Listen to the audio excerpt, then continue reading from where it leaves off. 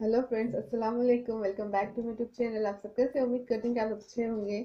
तो जैसे कि फ्रेंड्स आज हम रिव्यू करने जा रहे हूँ। मैं ये निविया का प्रोडक्ट है जो कि आप जानते होंगे नीविया के कितने अच्छे प्रोडक्ट्स होते हैं। हर लोशंस या क्रीम्स वगैरह।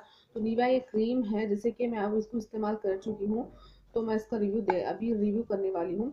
ठीक है तो और इसकी पैकेजिंग की बात करें तो पैकेजिंग कुछ इस तरह की है, जैसे कि ये नेवी ब्लू कलर का इसका बॉक्स है सिल्वर का। जैसे कि इस तरह से ये ओपन होता है। मैंने ऑलमोस्ट टोटली ख़त्म कर दिया थोड़ा सी बाकी है इसमें। तो इसका मॉइस्चर की बात करते हैं तो इसका मॉइस्चर बहुत ही अच्छा है फ्रेंड्स जैसे कि जिसकी ड्राई स्किन होती है तो उनकी ड्राई स्किन के लिए बहुत ही अच्छा है। यहाँ पर प्राइस की बात करते हैं तो यहाँ पर प्राइस मेंशन किया गया है इन्होंने।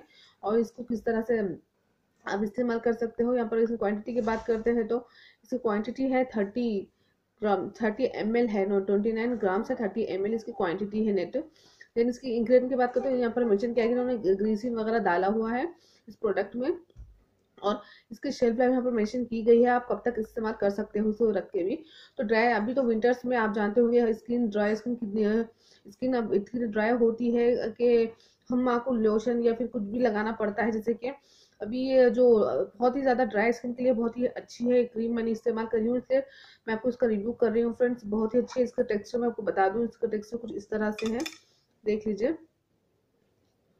और इसकी फ्रेगनेंस की बात करते हैं इसकी फ्रेगनेंस माइल्ड है फ्रेंड्स ज़्यादा चिपचिपा नहीं है, ये नॉर्मली ड्राई स्किन के लिए बहुत ही अच्छा सूटेबल होगा। जब आप अप्लाई करोगे तो आपकी स्किन एकदम सॉफ्ट स्मूथ हो जाएँगी और ड्राई नहीं होगी, बिल्कुल भी। देख लीजिए, मैं आपको बता रही हूँ। मैंने इसको इस्तेमाल किया है, अभी प्रेजेंटली बता रही हूँ मैं। एकदम माइल्ड फ्रेगनेंस है देन इसकी जो ये जो काम करता है एकदम अच्छे से काम करता है अपने इसमें तो अपने बॉडी पे तो आपके, आप इसको फेस पर भी लगा सकते हो।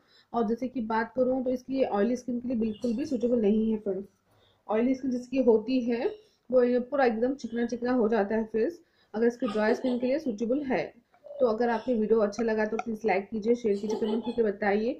और मैं, ये आपको लोकल स्टोर में लोकल मार्केट में कहीं भी अवेलेबल हो जाएगा। ठीक है ओके फ्रेंड्स अल्लाह हाफिज़।